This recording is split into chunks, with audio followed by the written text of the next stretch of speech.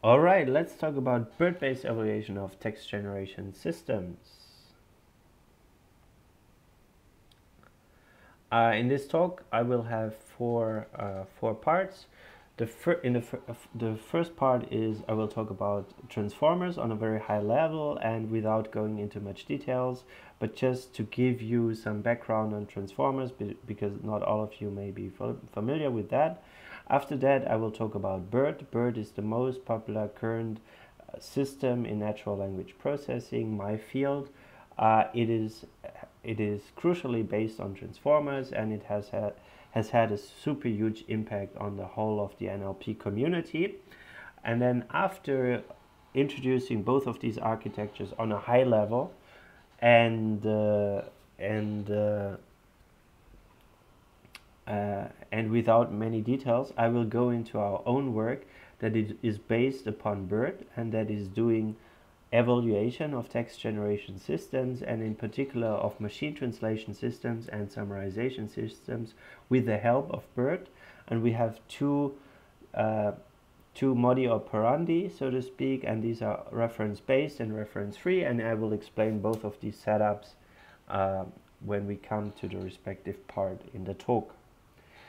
So let's talk about transformers. And we want to talk about transformers. We may start out with uh, discussing again what recurrent neural networks are. As pictured here, you see a recurrent neural network with its typical ingredients.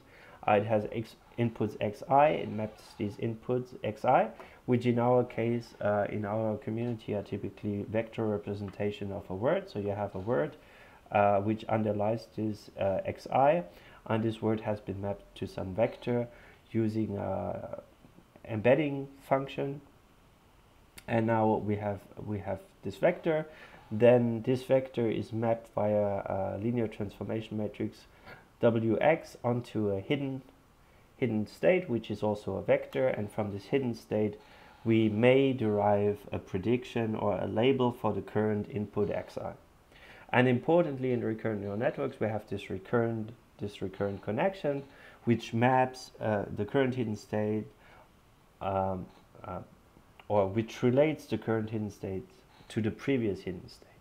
We can unroll such a network in time. You see the, the illustration here, that's a RNN unrolled in time.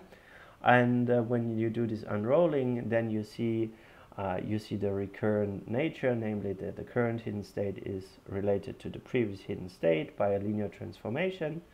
And um, and uh, with this uh, recurrent connection, what we are, what is the big advantage of that is that we can take all of the past into account uh, when we are at current time step t, right? Because you, you can just follow the, the arrows and you see that in this hidden state uh, is incorporated information from the previous hidden state and this previous hidden state depends on the previous input so in this hidden state, in the current hidden state ht, we have information about x2, and we also have, via this uh, uh, iterat iterative recurrent connection, we also have information about uh, x1.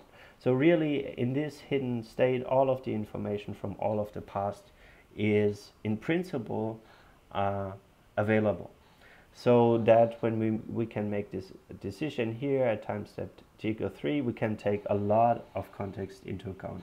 And this works at least in principle, right? This is a, um, a theoretical, uh, theoretical um, relationship, um, but in practice it has seen some limitations. And what are these limitations? So let's talk about the second one first, long paths, vanishing and exploding gradient. So what does that mean? So this basically means that um, this information here from time step 1 has to travel a long path until it may arrive uh, at uh, x3 here or h3 here. So uh, because it has to go, it has to travel along all of this path. And uh, now this path is not very long, but you may imagine that um, if we, the further we go back into the past, the longer the path becomes. And this means that along this path a lot of information may be lost. And this is also called the vanishing uh, the vanishing gradient problem namely that we lose information about the distant path And this means that in practice, these uh, architectures were often not capable of taking very long history into account, despite their uh, despite their theoretical properties of being able to do so. And there have been some solutions that could address this to some very uh, varying degree. One of them is the so-called long short-term memory neural network, LSTM, uh, which is which was introduced in the 90s by Hochreiter and Schmidhuber and then uh, became extremely popular like only 10 to 15 years later and this could really address the vanishing and also the exploding gradient problems but um, also not perfect. And the other thing is uh, the other limitation of RNNs are the recurrent nature. So this recurrent nature connects a hidden state to the previous hidden state and this means that when we want to do computation for uh, for the current hidden state we have to wait until all of the previous computations are finished and this of course uh, makes parallelization very difficult if not uh, like impossible. And transformers have been proposed to the rescue. Like they were proposed in a seminal paper by Vaswani 2017 attention is all you need. And uh, the, their their main uh, principles is that they are feed-forward networks, so they have no recurrent connection, so they do not do not have the problem of long paths, uh, and also they can be parallelized because they have no recurrent connections. Uh, what they use importantly is the so-called self-attention mechanism, and uh, as I said, they have constant path lengths and no recurrence. Let's look into some details. Um, and th this is based on uh, these two websites, which I can, uh, which I can, uh, which I can very much recommend to everyone interested in the topic because it's very nicely illustrated and explained in a in a very uh, simple and uh, manner which is easy to understand for even for people who do not have too much background on this material. So the high-level view of a transformer is that it is an encoder-decoder architecture.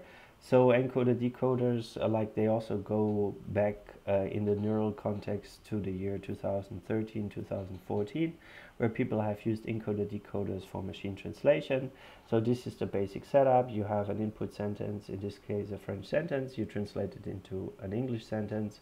Uh, you have an encoder in between that maps the input representation into a, into a vector and the decoder takes this vector and then from the vector generates the output. So this is the high level uh, setup of transformers, encoder decoder. Uh, then we zoom in and we actually see that both the encoder and decoder consist of six layers, uh, six stacked layers um, of smaller encoders and smaller decoders and the number six is a little bit arbitrary. Uh, this is um, a hyperparameter that you could also fix to some other number. In the in the in their first paper, they they used six. Uh, um, okay, so we have these small encoder decoders. How do they look like? Uh, each of these encoders uh, basically consists of a self-attention layer and a feed-forward neural network, right? So we, we have we have this setup. Um, what I will describe now is um, I will describe the self-attention layer and only the encoder because the decoder, well, it has some important modifications, but in, in principle, it's more or less the same like the encoder. Um, yeah, so we describe the encoder and we describe the self-attention. So what is attention? So before describing uh, self-attention, let's first describe attention. So So attention was the key to making neural machine translation work. So initially machine translation was proposed, but it did not have the attention mechanism.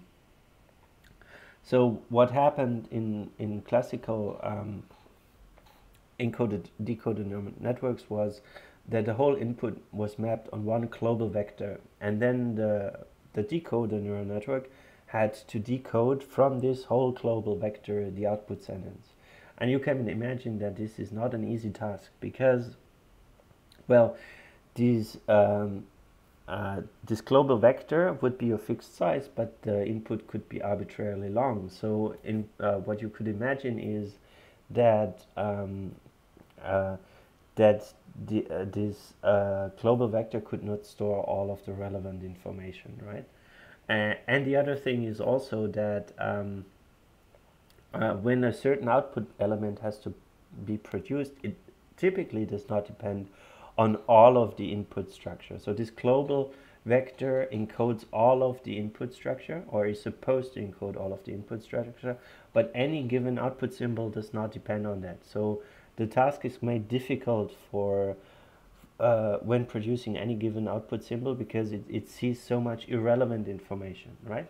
And what Bahdanau instead proposed is instead of making a global vector uh, from which to decode the next output symbol, how about making a local vector? And this local vector uh, chooses some um, some input parts on which to focus. For example, let's take this example here.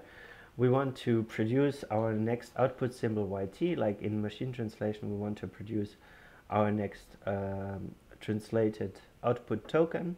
This, of course, like encoder decoder, um, uh, in the in the in the classical paradigm was consisting of two RNNs. So we have uh, an RNN as the as the decoder. It has its hidden state ST, and this hidden state ST uh, would be informed by some parts of the input, and uh, by which part it would be informed uh, is something that it it can decide itself. So it can set some attention weight which form a probability distribution alpha 1 to alpha t. So t is the whole input and it can decide where do I want to uh, put my attention to. So it could for example set alpha 1 to 0 alpha all of the alphas to 0 maybe except for these two alphas here alpha 2 and alpha 3 maybe it puts them to one half and one half and this would mean that when we want to produce this output uh, symbol here we would focus with the same attention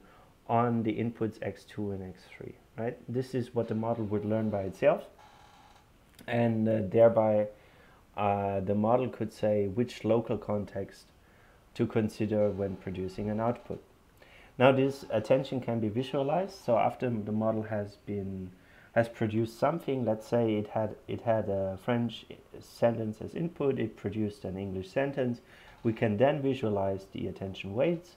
And in this example here, and in this example here, we take we take some produced units like European. We check what are the attention weights in the in the pixels here. You see the darker it's the darker the value, um, the smaller the attention weight. So basically, it puts attention zero on everything except two words, and these two words are European and economic a little bit, but more European. And as you can see, if you have some basic understanding uh, of French and English, that this is exactly the right decision. Um, so it puts the right attention, and you can see that most of that is on the diagonal. So most of the attention uh, is placed on the diagonal, which is uh, sensible because English and French are quite similar language. So we would expect a reasonable model to put most of the attention on the diagonal. And you can you can see and uh, uh, uh visually uh, convince yourself that this um, that this attention makes a lot of sense by um, forcing the model or by uh, forcing the model to pay uh, to look into the right context for each uh, new output symbol to be produced. Now the transformer model does not use attention but instead it uses self-attention. Um, self-attention is similar uh, or is, is very similar to attention except that the input and the output are not different but the input and the output are the same. So we, we have twice the same sentence. The animal didn't cross the street because it was too tired. The animal didn't cross the street because it was too tired. Now we can learn our attention weights for each word. We can say, where does it pay attention to? In this case, the, uh, the word it placed the attention on the animal the most and uh, uh, less on, on other parts of the input text. So, um, and these attention weights are learned by the model themselves. So what we could speculate what the model was doing here is, is that maybe it was learning a little bit of co-reference resolution. So it would it would learn that it and the animal are co-referring, which is very important for translation because ima imagine if you translate into German, then uh, you need to know whether the, the animal is masculine or feminine to produce the correct uh, to the correct translation of it, right? So it's doing something meaningful here. So this is basically the uh, the the transformer model. So um, it consists of encoders. It consists of decoders. Uh, it takes an input, takes an output, has no recurrent connections, is entirely feed forward. It's using this uh, attention, which uh, where it uses these encoder blocks, uh, and each encoder blocks. It has a self attention layer, then a feed forward network, uh, this attention learns to uh, learns to connect the input with itself, then transforms that by a transforms it by a feed-forward network. In the next layer, we again have the attention between itself, but in this time, we do not uh, relate the input to itself, but we relate the output of the feed-forward network to itself. So it can learn a hierarchy of attention actually. So in the first in the in the in the uh, lowest encoder we learn um, we learn to re relate input words to each other in the next decoder we do a second order um, self attention so we we learn to uh, well we learn to to map the encodings of the first layer uh, or we learn to connect the encodings of the first layer to uh, to themselves right and we we we uh, we do this all along our um, encoder architecture. Good, so that's basically the, uh, the transformer. Uh, as I said, the big advantages are there are no recurrent connections, which means there are constant path lengths, um, and which also means that parallelization can be done within multiple aspects of the model, or multiple um, in multiple layers of the model. Good, further further ingredients of the transformer which are of minor importance, so like from a high level um, perspective. So first it has multi-headed attention, so it does not only have a single attention head, um, which gives attention between um, uh, which, makes self attention on top of a layer, but like it has multiple heads, um, multiple kinds of attentions, which you could also visualize. They are not always easily um, interpretable to humans, but you can imagine you have more attention heads, so you can the model can focus on different aspects uh, with these different uh, attention heads. Another thing, another thing is that it uses byte pair encoding. What is byte pair encoding? So this is an automatic split up of the input. As you can see here, the animal didn't cross the street because it was too tired. Especially you can see it here in tired. So it split up this word into two parts.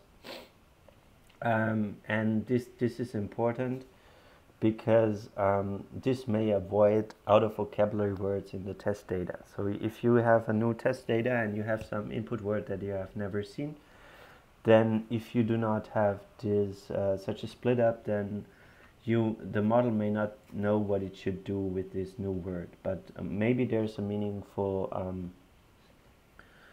a, a meaningful segmentation of that uh, of that new input that it sees and each of the parts of that segmentations are known to the model so the model can gracefully recover from an unknown word right so and this this is uh, actually this is a standard trick in all of neural machine translation since the work of Nico Sennrich but is, is a very important one to make the model perform well in in uh, new test settings and uh, finally, it also used positional embeddings because the original model does not have any does not have any information about order. So uh, all it sees is like a, all it sees is uh, well kind of a bag of words of inputs, and it doesn't know their order. So it also needs to to add an embedding of um, uh, of the position, uh, which is important so that the model can in incorporate order. So let us now look at two sample applications of the transformer model, uh, of the transformer architecture. The first one is GPT-2. This is a text generation model that was popularized in 2018. Uh, it's a text generation model, therefore it only uses the decoder part of the transformer architecture because the transformer architecture is so uh, efficient, GPT-2 could be pre-trained on very large amounts of text. Therefore, it achieved a quality of output that was unprecedented at the time. You can go to that web page and try it out for some fun experiments. Um, I uh, already tried it out. I already so what you can do here is you go to that website, you give in a prompt, and it will continue this prompt. And if you're lucky you you can even do uh, some interesting task with it such as machine translation. So I typed that in before then I clicked on generate. And what you will notice is that it is getting the intention that you are for. So in this case I, I, I asked it to translate ich liebe dich into English uh, and it said okay I'm lying down. That's not exactly correct the correct translation but it's getting your correct intention. Uh, yeah. So try it out for yourself. You'll notice that it is uh, produces highly grammatical text that is often also very semantically coherent. So in this case now uh, the example was not so good but uh, well if we try long enough we will get um, we get a couple of good samples in any case. Good. So besides GPT-2, the, not, the other uh, very popular uh, application of the transformer model is BERT, which we will be discussing next.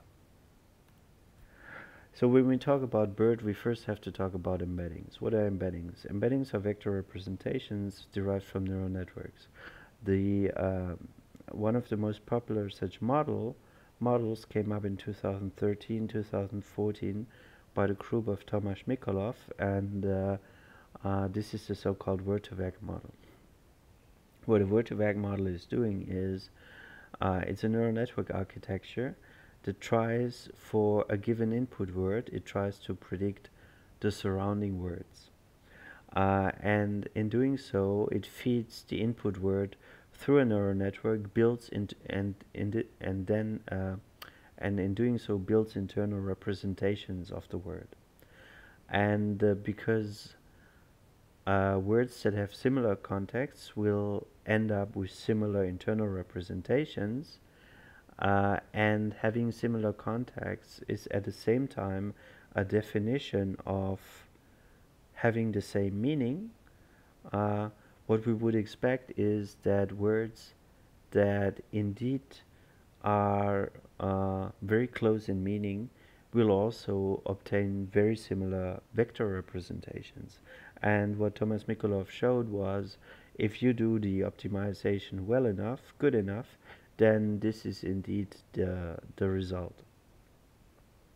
Uh, this model has been extremely influential and actually uh, one could say that this started the hype in, L in NLP uh, about deep learning and uh, and uh, artificial neural networks.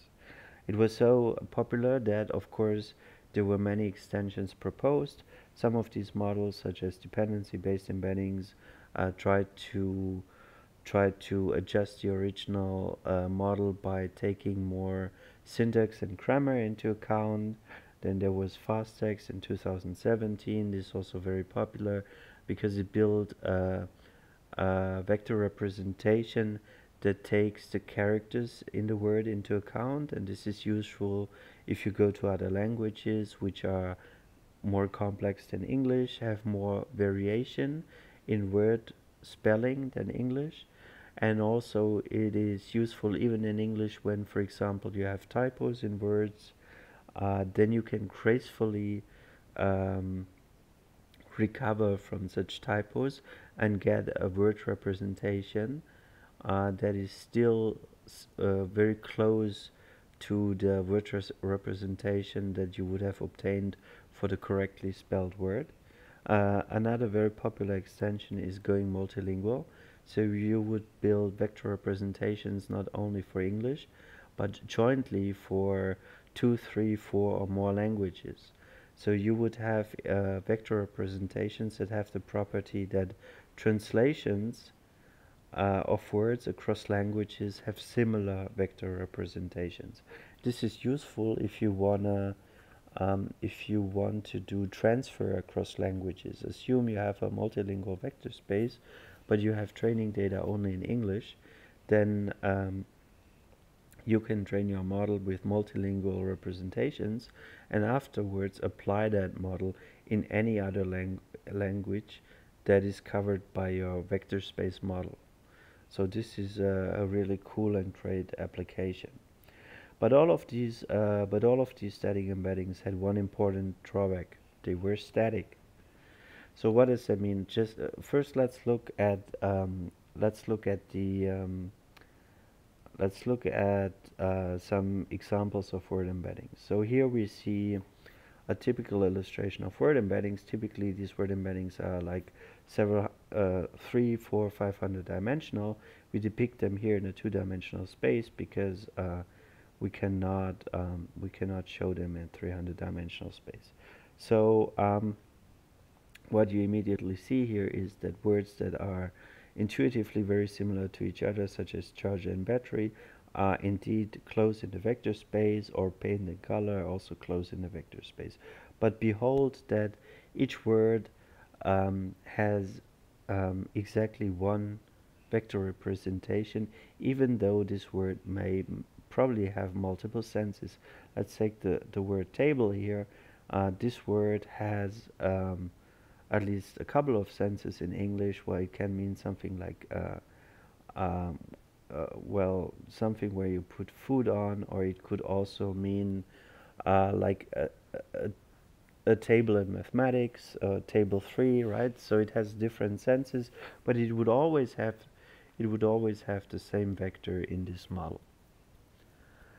So, and this obviously um, is a limitation. So, in 2018, a couple of researchers uh, proposed a so-called Elmo model, which revolutionized the word embeddings models by giving each word a different embedding depending on its context in a sentence. Uh, how does Elmo look, look like? Well, Elmo's, first of all, Elmo solves, solves a certain task. Uh, so this is the Elmo architecture. It is a bidirectional RNN uh, so it goes in both directions and it has two layers and um, it solves a certain task and this, this task is called language modeling. So it tries to predict at each time step the next word. So if we're at this time step here, tries to predict the cat. If we're here, the cat is, it tries to predict happy, and if we are, the cat is happy, it tries to predict that this is the end of the sentence. So it, its task is language modeling. Why is that a good task? Well, obviously, if you can predict the future from the past, you have a quite powerful model. Okay, so this is this is a good task. And now, what is Elmo doing?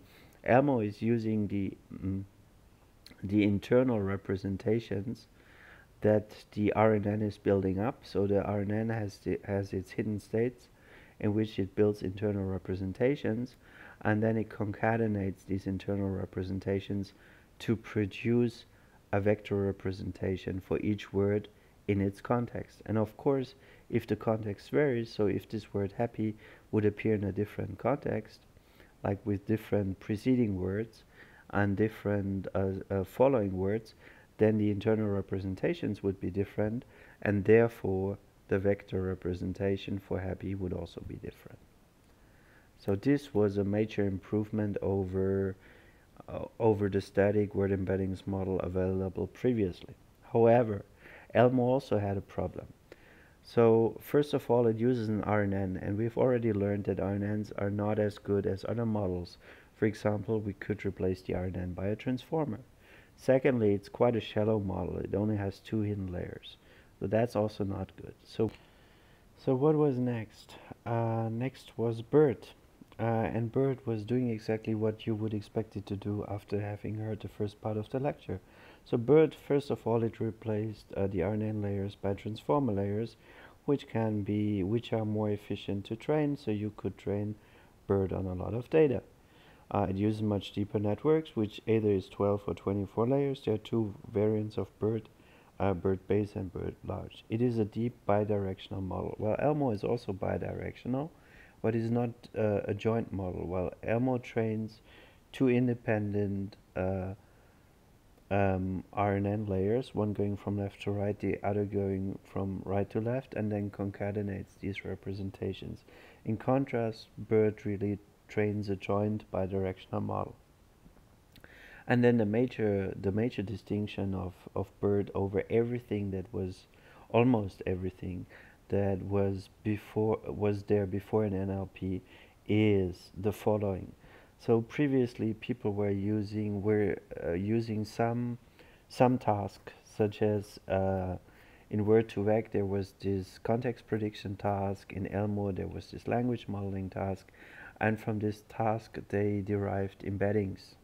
Uh, these could either be static or, or contextualized, but they would use, they would take these embeddings, um, they would take these embeddings and um, and feed them into some some different architecture, and then uh, and then solve some specific tasks. So they would add these embeddings as features, uh, as input features to to any deep learning architecture. Instead, what BERT is doing is it uh, it, it already proposes a complete architecture and you do not take components out of that architectures and feed them in somewhere else but you you take the complete architecture that has been that is pre-trained uh, on huge amounts of text. So again, due to the efficiency of transformers, uh, the people, the the authors of BERT, pre-trained that on huge amounts of text, and then so in order to find a good solution for the whole BERT architecture, a good initial solution,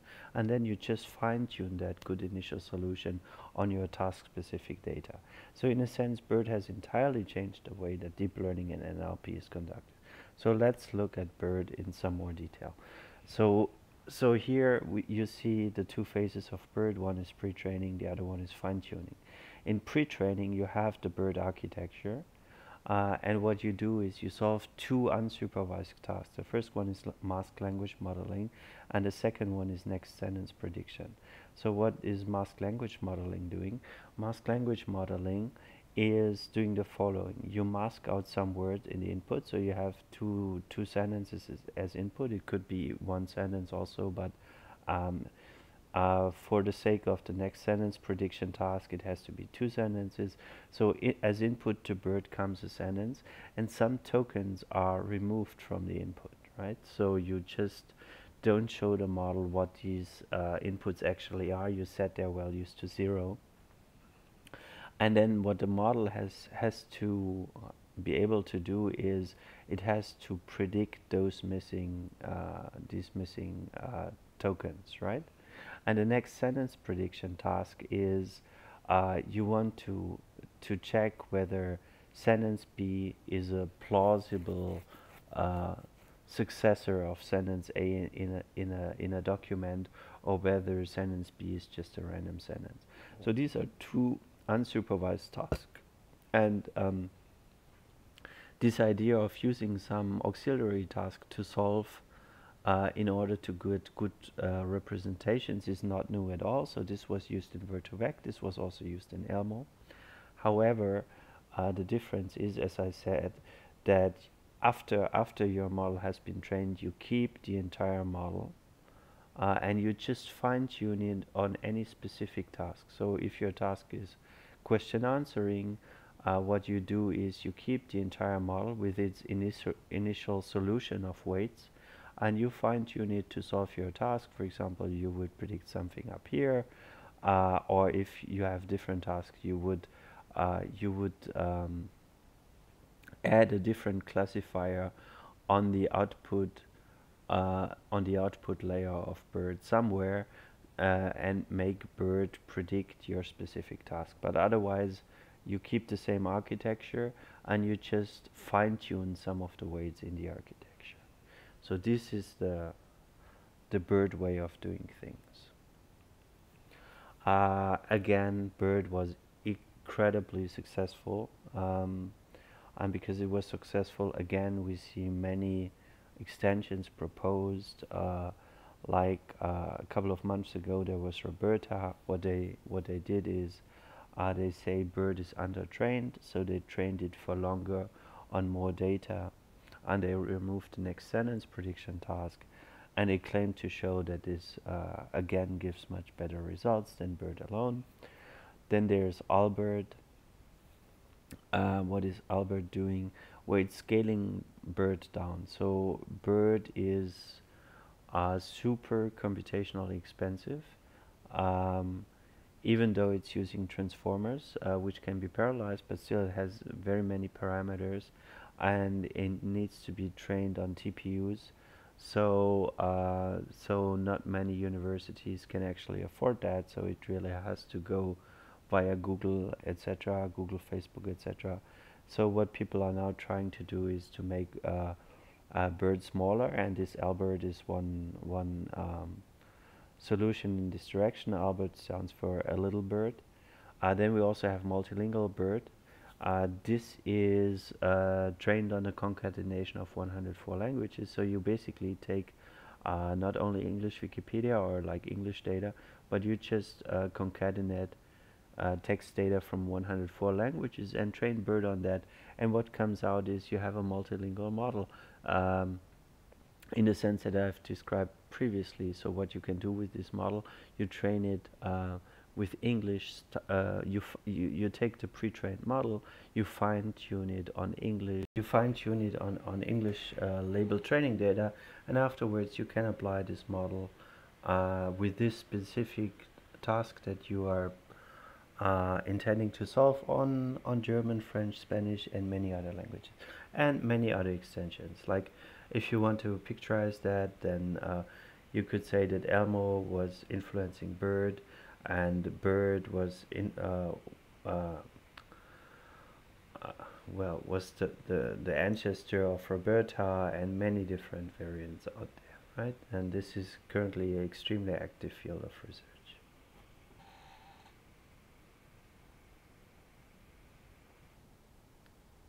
As a short interlude, let's briefly, very briefly talk about B and multilingual embeddings.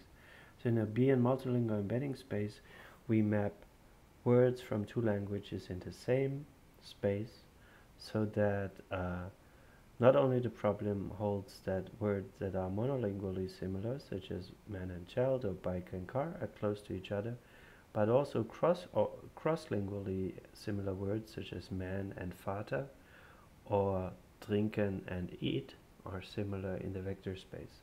And of course we cannot only do this for, uh, for words, but we can also do that for whole sentences. So let's talk about reference-based evaluation with BERT. And the following part of the talk is based on our two papers, um, on, a, on three papers. The first one which we uh, got accepted last year on EMNLP, mover score. And the the second and the third one are recent papers that we got accepted at ACL 2020. And all three papers deal with uh, evaluation of text generation systems. The first one in the reference-based uh, setup and the second and third in the reference-free setup. And you will see from the presentation what the difference between reference-based and reference-free is. Uh, yeah, and the difference between the second and the third is the second is on machine translation, the third is on summarization. So what is the traditional approach in evaluation of machine translation, for example?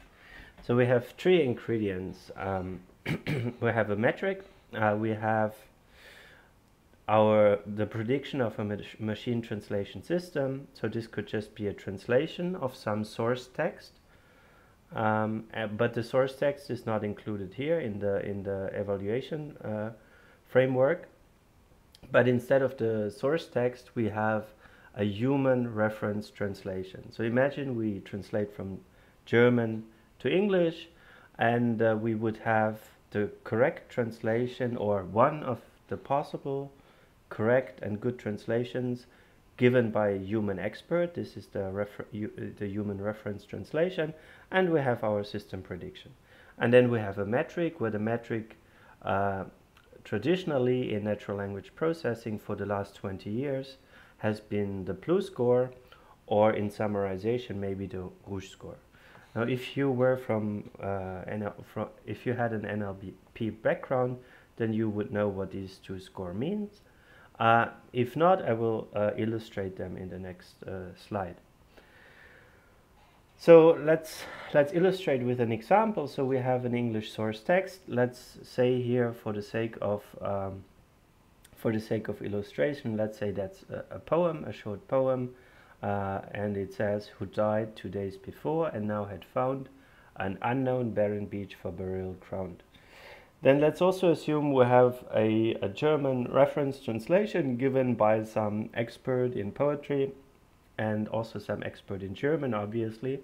And maybe that reads like uh, Vorgestern starben in dieser fand, dieser fand im Bette des fremden Sands die letzte Ruhestätte. And we have our system prediction. In this case, the system was just myself.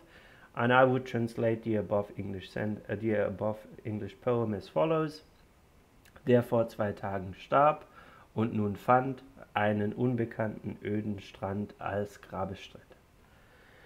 So now what you can see, uh, if you, so now in the evaluation framework, we would just compare uh, the prediction of the, of the system to the human reference translation. And if we had a hard metric such as BLEU, uh, we would call this a hard metric, it would count the lexical overlap, right?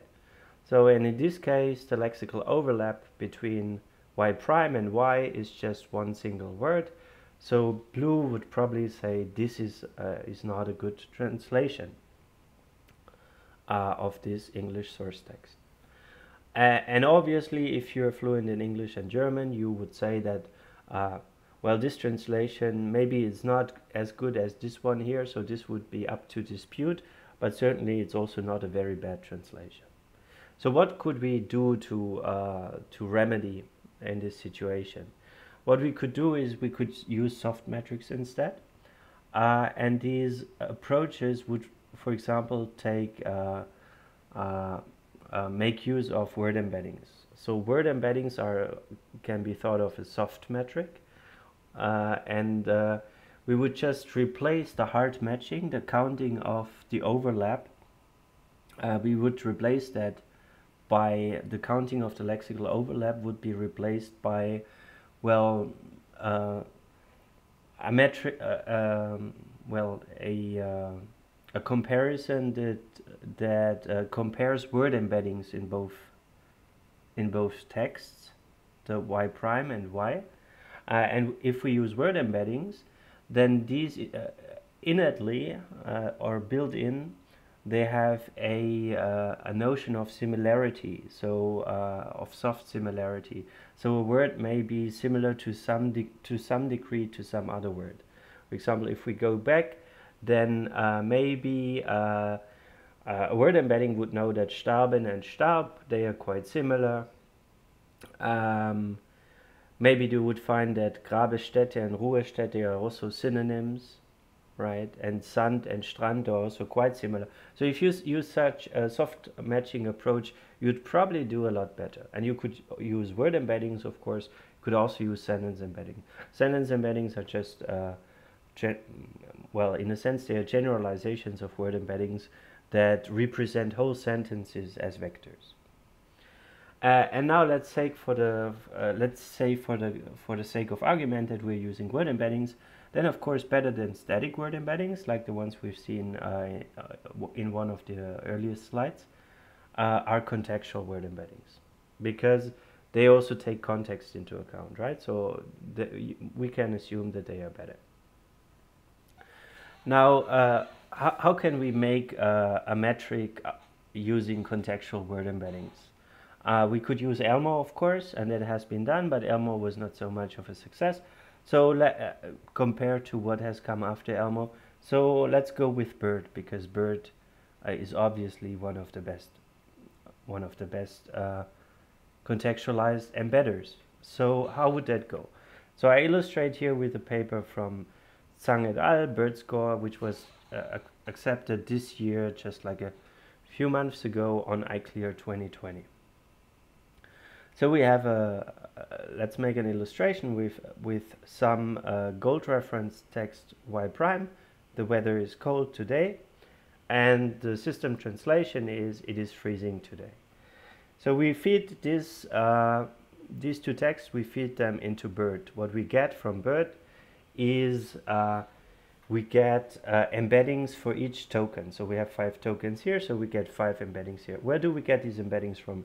Remember the BERT architecture, it had these uh, input tokens, and then uh, it, it would feed, these input tokens would feed into the architecture, and, uh, and BERT has different layers. So for each token, we have a full layer of representations. So we have the first layer, second layer, third layer, etc until uh, BERT has overall 12 layers or 24 layers. So on each layer, for each token, we get some representation. And what they, what you could do is you could take the average representation here, or you could just take any arbitrary number. So what we have done, uh, we, we took some average here, uh, and I think they only took the last layer, but um, you have different options here. So in any case, for each embed, for each token in the input, we get some embedding. What then they did or what they do is they compute a pairwise cosine similarity. So everything compared with everything, that gives such a matrix here. So we have the reference text on one axis and uh, the system prediction on the what other axis and we do a full comparison between all the words. Uh, and now what they do is they go um, they go along the reference text, and of course you can symmetrize this by exchanging the two uh, the two texts on the two axes. Uh, but first they uh, they look at the reference text and they check this row, and they check which one has the highest uh, which, which score is highest, and they say okay this score here is highest, so we take this one. They do it for the second row also. Okay, which score is highest? This one is highest. Uh, for the last one today, which is highest? Okay, this one here is highest. So in a, in a sense, for each word in one text, they look for the highest scoring word in the other text. So for the word whose representation has the highest cosine similarity, right? And in this way, what they obtain is they obtain a kind of a word level alignment between the two sequences. So in this case, the word the would be aligned with it, freezing would be aligned with cold, and today would be aligned with today. And then they introduce some more scores, but basically, uh, and then they make a full computation. So these, these other weights that they introduce here are not so important for the moment uh, and for the, for the illustration. The most important is these scores here. Basically, they weight these scores a little bit and sum them up. And by doing so, they get a, a score for the whole uh, for the whole pair of sentences. So, and this score says how similar is this sequence to the other and um, to this other sequence. And intuitively, why this is a, a, a good approach to do?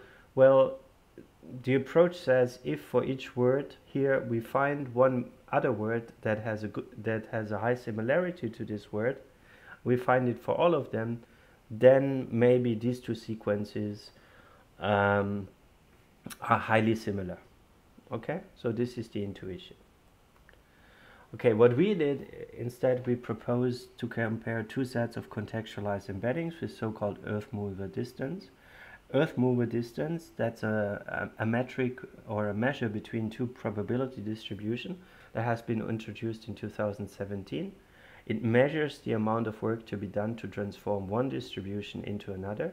And we, we, we combine Earth mover distance uh, with BERT embeddings in our paper mover score. Now uh, let's very informally look at Earth mover distance. So the earth mover distance between two distributions is proportional to the minimum amount of work required to convert one distribution into the other. And the cost of moving the dirt, so one distribution is considered as dirt and the other one is co uh, considered as whole holes and uh, and then the the metaphor that is being used is the cost of moving the dirt depends on the weight of the dirt so how big is that dirt and the distance it has to cover so how far has does this dirt have to travel and uh, well um, um, uh, a visual uh, uh, characterization of that process is given below here.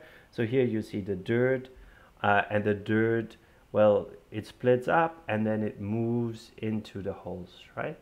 And the the bigger the chunks are of dirt and the further they have to travel the higher the cost. So this is just a very uh, visual metaphorical uh, description of earth mover distance. I'm not going into any mathematical details. If you want um, if you want to look that up uh, i'm happy to give you uh, references. Or i mean below here is also again a very nice and uh, easygoing uh, discussion of earth mover distance. So now what we do is uh, we have for our for our score mover score we have the reference y prime we have the the system prediction. Y we feed that into BERT we get the embeddings out. Uh, we compute pairwise Euclidean distance so that's not a big difference. You could use pairwise Euclidean distance or pairwise cosine similarity. From that we get a, a distance matrix. And then from the earth mover from earth mover we get the transportation costs how much how costly is is it um, to uh, transform one sequence into the other sequence and this this is given by an optimization problem you you plug it into some algorithm out comes this matrix here and uh, and uh, yeah and then what we do is we, we take a pairwise, uh, pairwise product of these two matrices or a, a pointwise product of these two matrices. I think that's also called Hadamard product. So we just multiply everything and then sum it up. And then we get the mover score. Okay, so that is our approach. So to on a, on a high level, what is the difference between both approaches? Well, BERT score uses this heuristic or greedy alignment. So that, that we saw this was kind for each word trying to, to capture the most similar word in the other sequence. Uh, this can be, can be thought of as a greedy alignment, whereas mover score computes an optimal alignment by solving an optimization problem. So that's, that is the, the difference. And if we look at results, so here, what, what do we have? We have German to English translation and Chinese to English translation. In the paper, we have many more, but just for illustration, I show these two. Uh, what we do now is we have our systems. Uh, we have like for German to English, we have, uh, let's say we have thousand sentences, thousand German sentences. Uh, in each case, we have an English gold standard human reference. Uh, we have some system predictions. and we, in addition, we have human scores that for each uh, for each system prediction and each reference tells us how good uh, this, the system prediction is, right? So we have also these human scores. And then what we do is we, uh, we measure the goodness of the systems by BLEU. Uh, and yeah, by, by the BLEU score, by the Meteor score, by RUSE, by BERT score, Mover score, and two versions of Mover score. And then we correlate the scores that these metrics gives to the human scores, right? So we make correlation. How similar are the uh, how similar are the human scores to the to the automatic metric scores? And we find that BLEU, well, it's it's in in English German it's 50 percent. Uh, English Chinese a little bit higher, but overall that's like medium correlation, right? And then there were a couple of other metrics proposed, especially this one here, RUSE. This is a supervised metric, so it's optimizing on on the human score. So of course that will work much better. So it uh, goes above 60% and close to 70% for Chinese. But the problem with supervised metrics is they usually don't work very well out of domain. And also they are costly they they are costly to obtain because they they need these human scores. Uh, so then comes BERT score with BERT score with the with the greedy greedy alignment technique. But it's unsupervised it improves well, quite consistently on the supervised metric and a lot on BLEU And we, if we substitute the greedy alignment with the uh, optimal alignment, we improve upon BERT score. And then you see also if we compute the optimal alignment, but uh, uh, use word2vec, so the static embeddings instead of word, uh, instead of BERT, then we decrease quite considerably and we go back to the level of BLEU.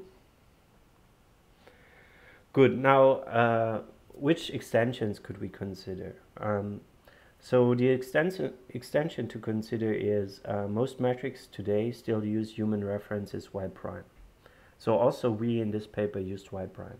But y prime is costly obtained because some human has to provide it.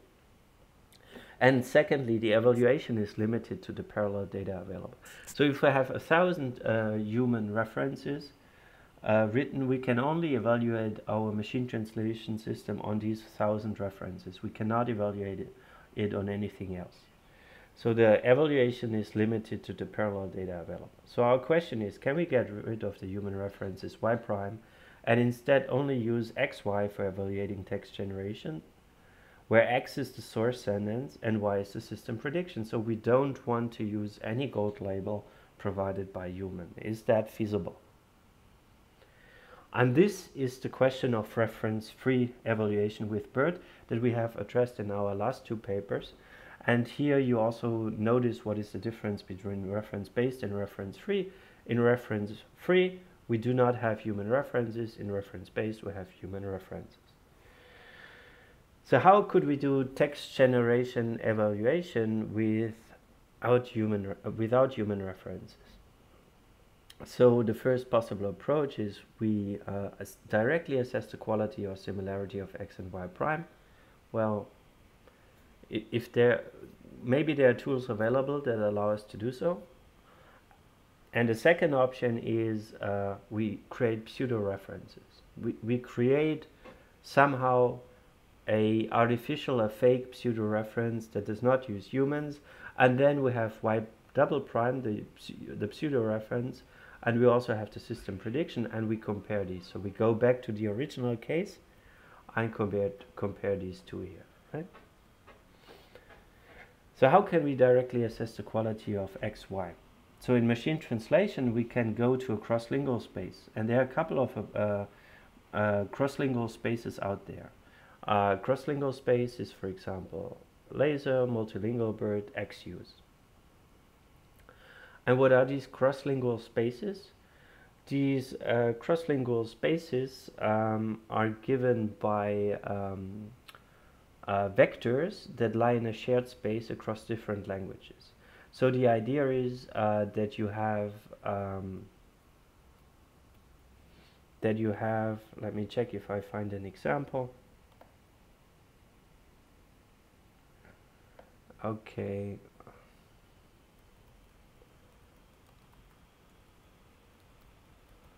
Let's check for an example on the internet.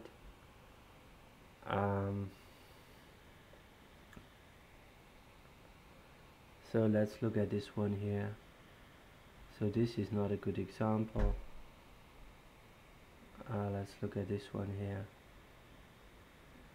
but that's not so bad so basically this is uh, this is English and the other language I don't know it could be Italian let's say it's maybe Italian.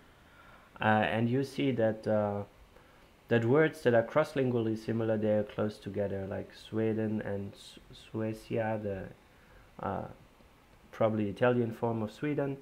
Uh, and we would we would have such properties everywhere in the space. So uh, words or sentences that are uh, cross-lingually similar would be close in the vector space besides the other conditions that words that are similar in one language are also close in the cross-lingual space.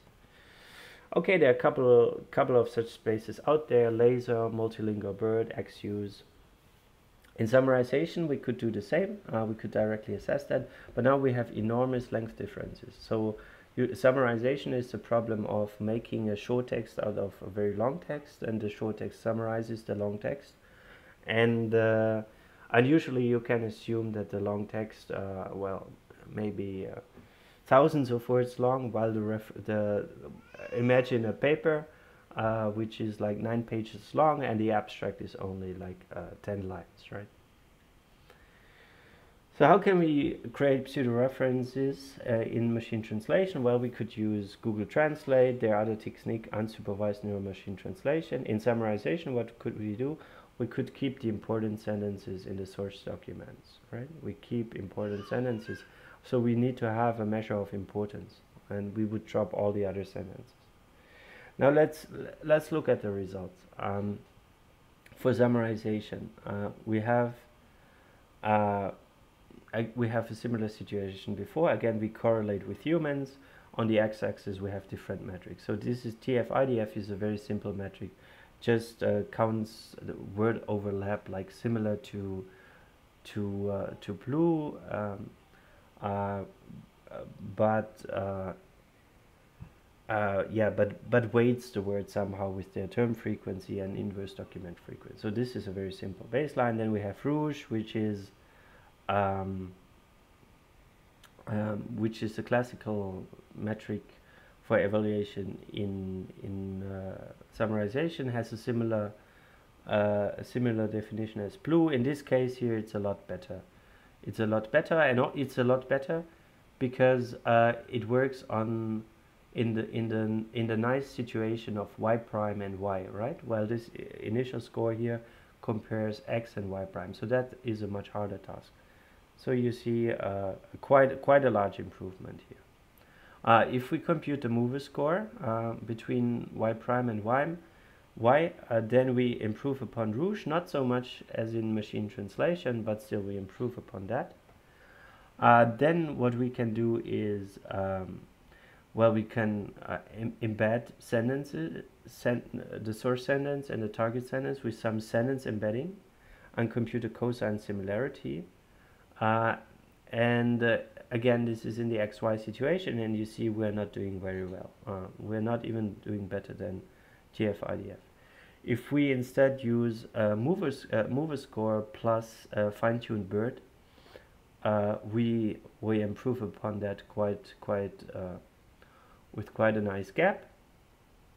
And then finally, if we compute our pseudo references by only keeping the important sentences, we still we still uh, get a nice improvement and we beat the previous state of the art. So actually this one actually was the previous state of the art and we improved that quite quite uh, substantially. But you also notice that we are quite far away from the, the situation y prime y. However we have saved a lot because we did not have to write uh, summaries by humans which is a very costly task in summarization because humans have to read the whole lengthy text to write a, a, short snippet that summarizes that. So our results are considerably worse. However, uh, we have saved a lot of costs. Now we go to machine translation. Here we have BLEU, we have the mover score. Uh, mover score is much better than BLEU. Now this is an average over several language pairs.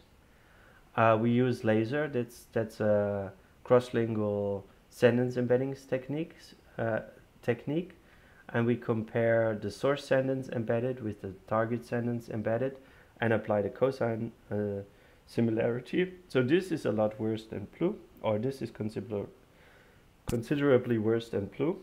If we use multilingual BERT and mover score, we are even worse than that. Now, why, why is that the case? Now, I didn't explain too much about multilingual BERT, but multilingual BERT is just a BERT variant that is trained on the concatenation of 100 languages. So these people, they just concatenated the Wikipedia of 100 languages, trained BERT on that, and you can imagine, so this worked actually quite well, and there are a couple of papers who say, well, this, this is surprisingly good, uh, a surprisingly good approach, but on the other hand, you can imagine that this does have some problems. I mean, some uh, immediate problems that arise is if two word, if two languages have a similar word, uh, have the same form of a word, let's say gift in German and English. So the model cannot differentiate at all between the, these two forms. So it just sees gift uh, twice in the data, so to speak, one in the English part and one in the German part, and it has to deal with that.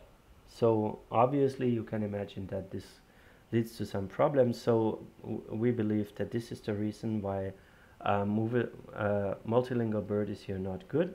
So we do, uh, we, we, introduce a remapping technique. So um, we remap this whole multilingual space uh, and we, we improve upon that.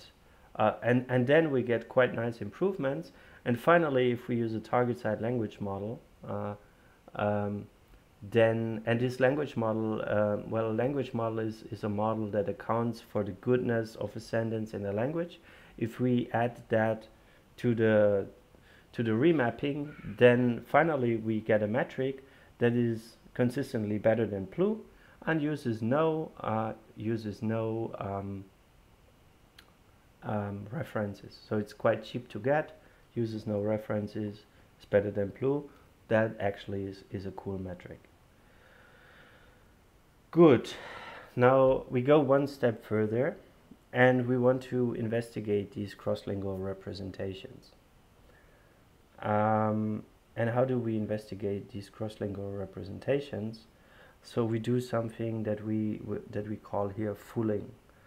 Um, and we, we consider three kinds of foolings.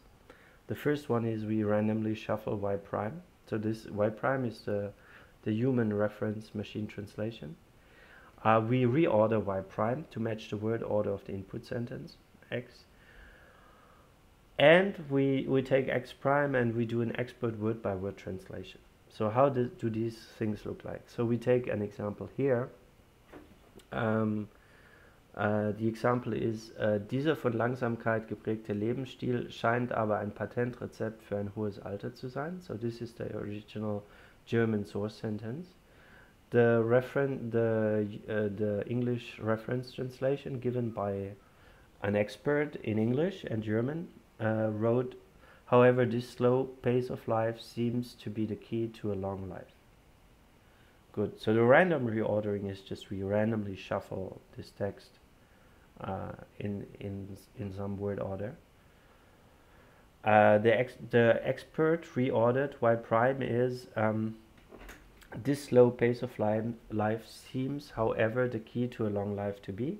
What you see is the however goes in the middle, from the start to the middle, because the aber is also in the middle in German. And you also see the typical uh, German uh, uh, ending, the, the German case of, of the verb ending the sentence. So, zu sein, which was uh, somewhere in, in the middle here, goes to the very end. And then if we do a word by word translation, uh, so we will get this of slow pace, characterized lifestyle, etc. etc. So this is a very Germanish English sentence. This of slow pace, characterized lifestyle seems, however, a patent recipe for a high age to be. Now we what we so this these are our foolings. Now we want to check what do our metrics do. So as our metrics we have laser which I didn't actually introduce here. So therefore I skip laser. Uh, I just go to multilingual BERT. So now we check the preferences of multilingual BERT. So we, for each such sentence, uh, we check which score does BERT give to x and y prime. So remember x is the uh, source sentence, y prime is the human gold standard reference. y prime random is just a random reordering of y prime. So we get a score here. This is a number, this is a number. We subtract these two numbers. So something comes out. If this number is positive, then multilingual BERT prefers x, prefers y prime rand over y prime because the x is fixed. If this number is negative, it prefers xy prime, right? And here's a histogram. So this is the score difference. Here's a histogram over the score difference. You see the values. There are some positive values, but most of them are negative. So this means multilingual BERT prefers x, prefers y prime over y prime rand. And this is a good thing because this shows that multilingual BERT uh, is not a bag of words model. It can differentiate between good word order, correct English word order, and random English word order. Now let us look at the expert reordered. So this was the case where we had Germanized, uh, the Germanized uh, version of of English, but only taking the words that are available through Y prime. What we see here now is, um, well, we see here now that the, the score difference is actually centered around zero, right? So BERT is mostly indifferent between Y prime and Y prime reordered, okay? If we go to the word by word translation, then we see a clear picture. Well, the centering is clearly positive. Uh, multilingual BERT prefers the human word by word translation over the the actual, so this was a very Germanized English over actual English. So what does that mean overall? That means overall uh, what we have found out by our three experiments. First experiment showed uh, multilingual BERT cares about word order. If you put in a random word order, that's not good. So this is a good thing for the metric. Second experiment showed um, it is it is indifferent between having uh, a correct English word order and having uh, the case where the word order of the source and the target are the same because this is actually the reordering makes the word order of of input of source and and target identical, right? So it says if the word order is either correct word order or the word order is the same as the input sentences, I'm indifferent between these cases. And therefore, because here the word order is good, it has the same word order as correct English, but the lexical overlap is higher. So we have a higher lexical overlap because you can check here that uh, well, each word is a literal translation, more or less. It's not exactly literal because it also keeps the word senses. That's why it's done by an expert. Each word is a, is a good uh, literal, a good literal translation of the input. So we have a good semantic match, and we also have syntactically a good situation, right? Good. So this uh, this concludes uh, this part uh, this concludes the talk. So we see rapid advances due to evaluation metrics being based on BERT. So we have seen we can do much, much better nowadays. However, in the reference-free context, there's still a considerable gap, and we have shown that the BERT that is trained on multilingual data has quite severe deficits. Um, and namely, it's not a bag of words model, that's good, but it's ind indifferent between correct word order and source language word order, meaning source and target have the same word order, and these um, the current cross-lingual multilingual embeddings they like uh, translationese uh, they like translationese very much uh, because translationese has a good word ordering and has, it's also semantically good. However this is a severe problem for machine translation evaluation because that is what many machine translation systems are producing. Translationese this is exactly like word by word translations that's what they are producing. And these cross-lingual metrics believe that this is a good thing to do while actually we um, intuitively think this is is not a good thing to do right um, we don't like to have word by word translations to other languages and the current multilingual metrics even those based on BERT are not capable of uh, correctly dealing with translationese and they are not capable of taking of of um, of judging language at such a fine-grained level. So thanks a lot. If you are interested, come to our workshop, Evaluation of NLP Systems, uh, also called Eval for NLP at EMNLP 2020 in Punta Cana, and, and, now it's actually online due to Corona. And if you want to try out MoverScore, uh, check out this here, and we'll provide new scores for the for for our recent accepted papers uh, in the cross-lingual case. Thanks a lot.